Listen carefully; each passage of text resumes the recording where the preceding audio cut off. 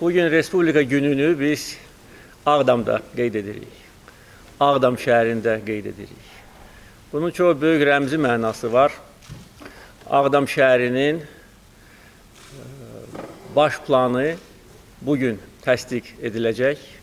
Bu baş plan mənə təqdim edilmişdir. Bir müddət bu plan üzərində biz işləyirdik və istərdim ki, Ağdam rayonunun tanınmış şəxsləri bu baş planla tanış olsunlar, öz fikirlərini bildirsinlər və ə, sizin iştirakınızla biz bugün bu gözəl mərasimi keçirək.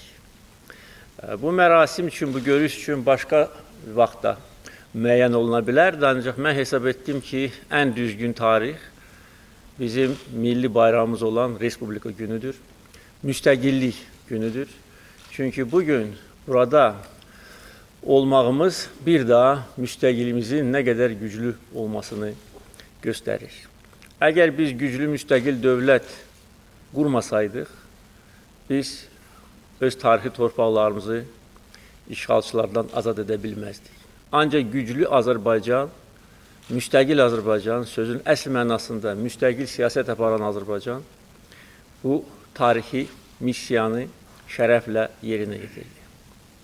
Və ə, Ağdam şəhərinin bərpasının başlanğıcı bu gün ə, baş verir Respublika günündə.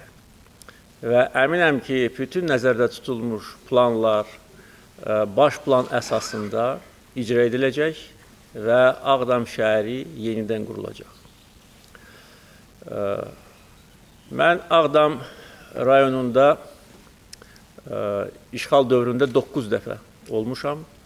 Bildiyiniz kimi şəhər işğal altında olduğu üçün ə, rayonun mərkəzini biz Quzanlı qəsəbəsində müəyyən etdik ə, və ə, Quzanlı və digər kəndlərdə dəfələrlə olmuşam. Bu ərazi ilə bağlı bir çox tədbirlər keçirilmişdir. Regionların sosial-iqtisadi inkişafı dövlət proqramlarının icrası nəticəsində Ağdam rayonunun quruculuqla bağlı inkişaf planları təsdiq edilmişdir.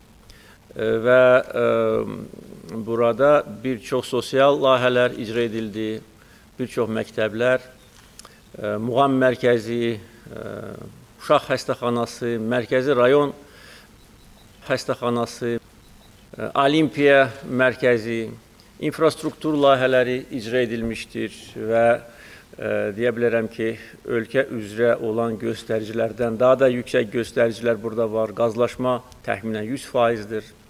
Elektrik enerjisi, su ilə təchizat, ə, 150-dən çox arteziyan quyusu qazılmışdır çünki mənfur düşmən ə, bu bölgəni sudan da məhrum etmişdir.